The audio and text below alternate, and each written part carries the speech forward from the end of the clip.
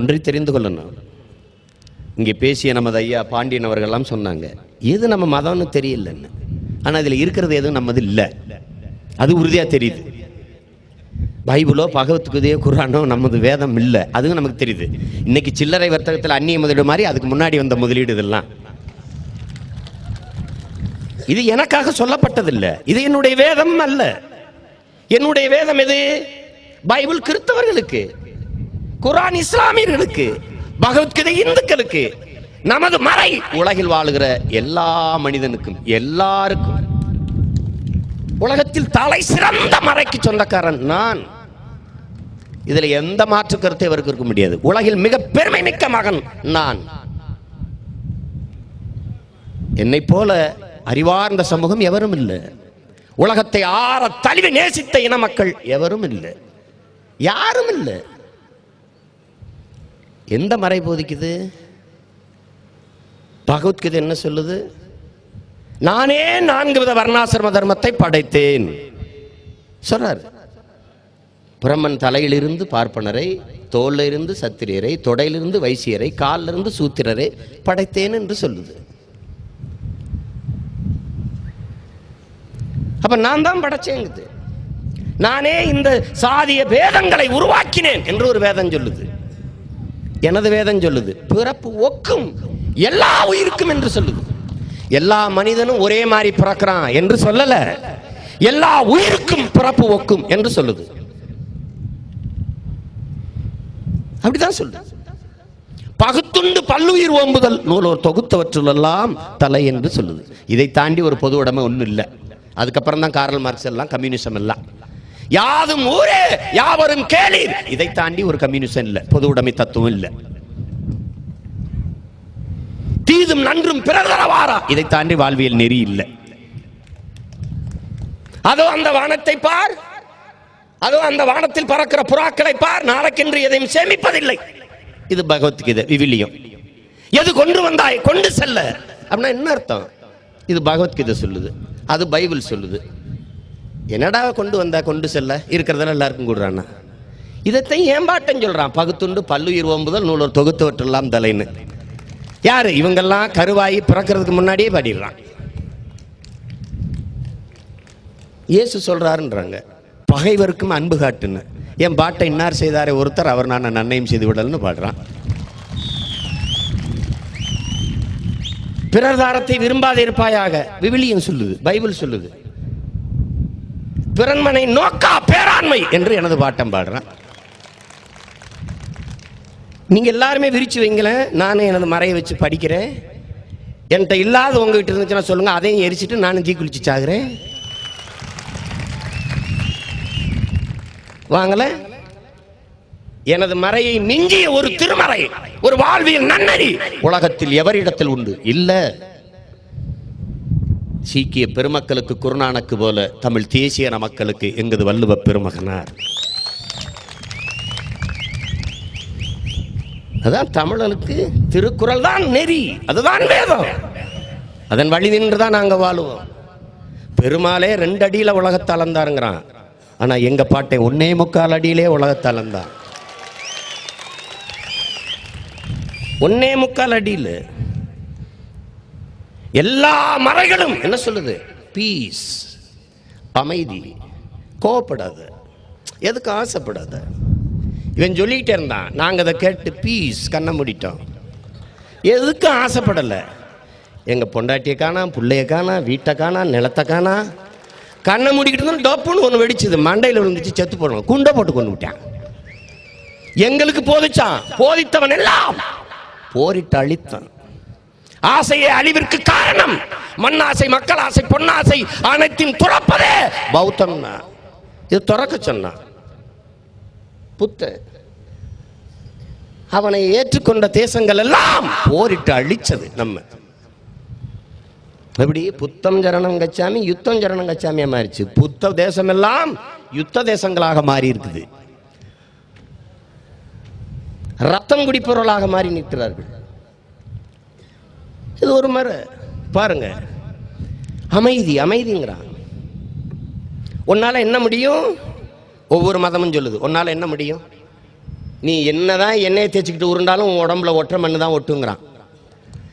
எல்லாம் அவனின்றி செய்யாது. அவன் என்ன எழுதியிருக்கானோ அதுபடி தான் நடக்கும் உன்னால் ஒன்றுமே செய்ய முடியாது. நீ வாங்கி வந்த வரம் உனக்கு விதிக்கப்பட்டது.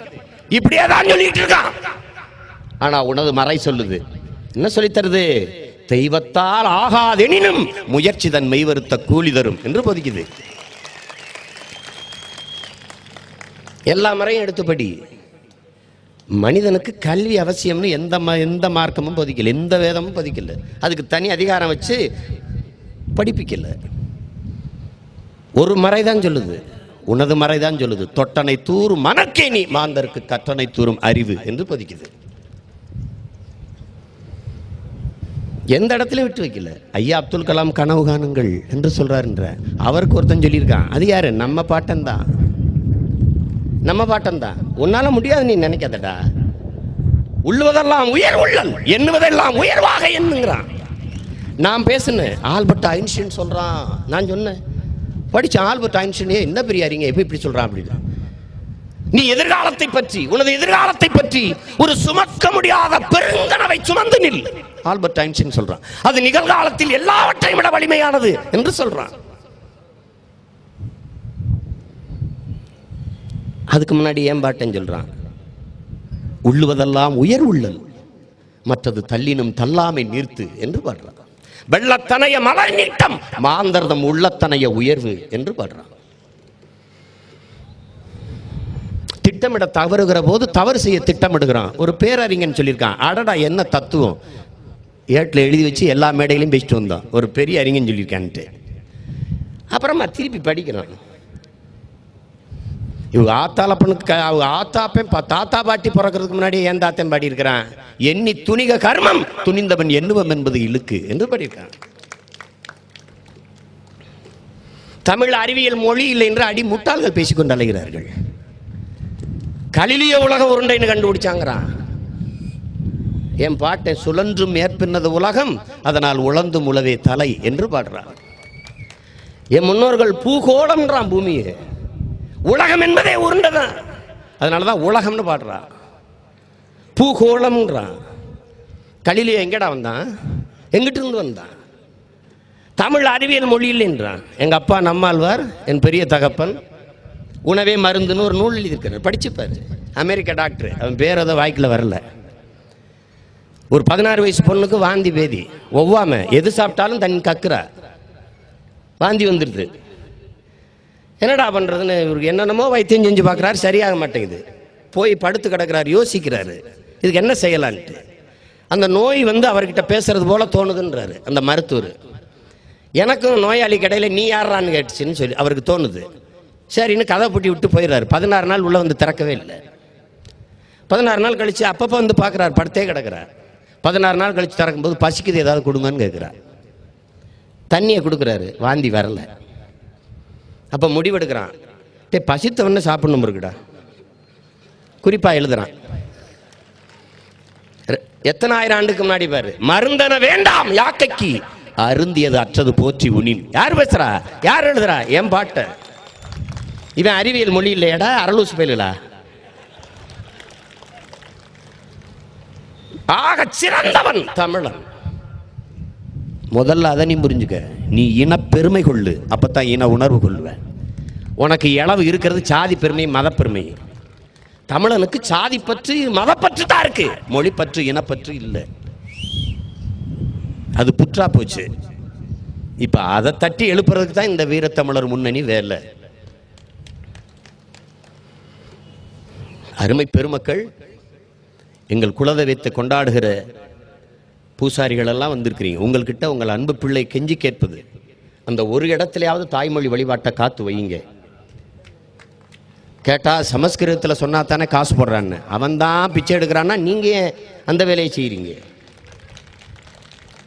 அற்ப காசுக்காக அன்னை தமிழ் மொழியை விற்பது பெற்ற தாயை விற்பதற்கு இணையானது இல்லையா? அந்த பச்சை துரோகத்தை தூய தமிழ் பிள்ளைகள் நாம் செய்யலாமா? நீங்கள் தமிழில் வழிபட்டுருங்க. நமது அரசு வரப்போகுது. உங்களை கொண்டாடும் நீங்கள் அதை பற்றி கவலைப்படாதீங்க.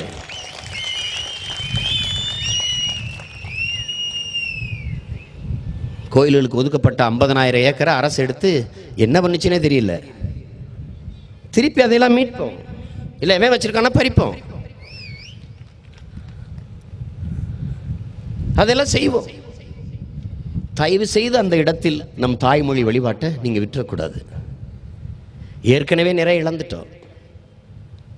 நமது பாட்டன் முப்பாட்டன் கண்ட கோயில்களில் நமது தாய்மொழி வழிபாடு இல்லை. தமிழ் ஆட்சி மொழியா இல்லை பேச்சு மொழியா இல்லை அதிகார மொழியா இல்லை அலுவல் மொழியா இல்லை பண்பாட்டு மொழியா இல்லை பயன்பாட்டு மொழியா இல்லை வழிபாட்டு மொழியா இல்லை வழக்காட்டு மொழியா இல்லை. வழக்காட்டு மொழியா கொண்டு வருவதற்கு இன்று வரை போராட்டம். விரைவில் மறுபடியும் பட்டினி போராட்டத்தை தம்பிமார்கள் தொடங்க இருக்கிறாங்க. அப்போ குறைஞ்சபட்சம் நமது குலதெய்வங்கள் வழிபாட்டிலையாவது நமது தாய்மொழியை காத்து வைப்போம். அதை மீட்கணும் அதை மீட்போம்.